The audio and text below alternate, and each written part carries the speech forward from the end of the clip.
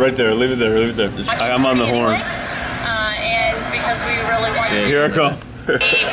oh So that's you? no! Right. The Hummer. Right here. uh, like minded rather than having This to young still boy. be Oh, there you go. Really? Yeah, that was me. That's your car. people going door to door. my car. So tell me, um, what uh, what inspired you to take time? First of all, how did you get how did you get tickets?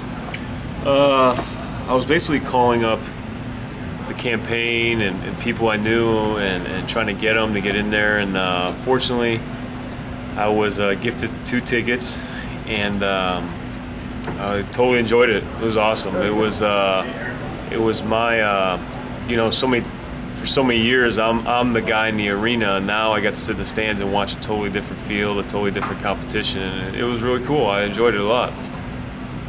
Is it your first time to see Ron Paul in person? Yes, it is. My first time in person. I've spoken to him over the phone. He had called me during the season uh, to say his appreciation for uh, my support, uh, vo- uh, as vocal as I was during the season, as well as uh, you know, I supported his campaign, his money bombs, and uh, he called me and said he was appreciative. At first, I thought it was one of the many jokesters we have on our team calling me and uh, faking it, but uh, it turned out to be the Uh-uh. real guy, and I was excited.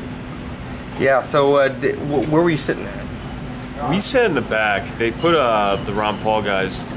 We were in the back left corner, which um, it wasn't a bad thing because uh, you're in uh, you're in his eyesight, so he could see us and uh, he acknowledged us and, and he could tell our support from back there. But I think as the debate was going on, you could tell who was for the different candidates, where I think he was gaining more while he was in there because more people around us started cheering for what he was saying than it, than just me and a few other guys. Yeah. What? Uh, when did you first learn about Ron Paul, and how, how did that transpire? Um, I probably first started stumbling on on uh, really getting into it uh, right after the last campaign. I um I started really listening. You know, I, I was like, "What? What's he talking about? What is this? What is this Federal Reserve? What is this IRS? How could somebody eliminate the IRS? How could somebody eliminate the Federal Reserve? What's he talking about?" So then I started doing my own research, and I was like, "Oh my God, he's right." And uh, and I researching him even more for the past 20 years. He hasn't changed. Nobody in these debates says, "Well, Ron, you said this back then, and now you changed."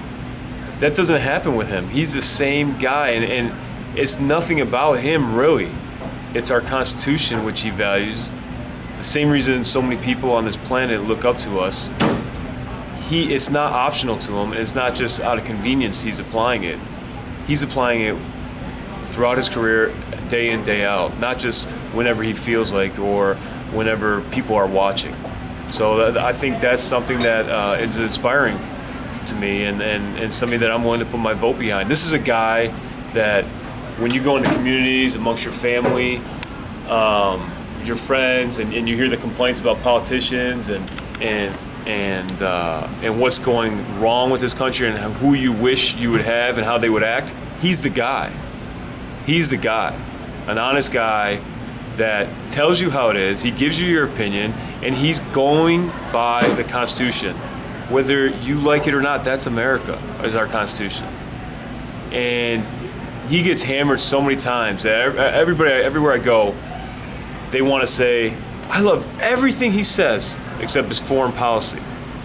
And I say all the time, I say, he's not against going after our enemies. He's for constitutional war, constitutional policy. Declare it. Even when I spoke to him on, on the phone, I said, Dr. Paul, tell me one thing. I mean, I don't know. I'm a football player. I've never been in the military. I watch a ton of military movies, read a ton of military books. I'm under the assumption that we have the best, most advanced, powerful military on the face of the earth. And when we're motivated and we declare missions through the Constitution, we could pretty much take care of everybody within a month or so. I mean, we got, and you see stories all the time about our special forces guys going in, executing, coming back. When, when we're motivated, we go in, we get the job, then we're out. I was like, so are you saying that we can go get our enemies as long as we declare it, vote on it, and declare the mission and get them and get out? He's like, absolutely. You can constitutionally go after your enemies, and, and when you do that, you're in the right. When you don't, then there's a lot of gray area, and what happens is lives, you lose lives, and you lose money, and you lose a lot of hope. And uh, and you, if you just stick by the rules of the game, which were set up for us to follow, you'll be all right. What have you seen from say, so your background? I mean, you, you played football for years. I played football. I I, uh, I grew up. Uh, my father's an immigrant. My parents are both immigrants.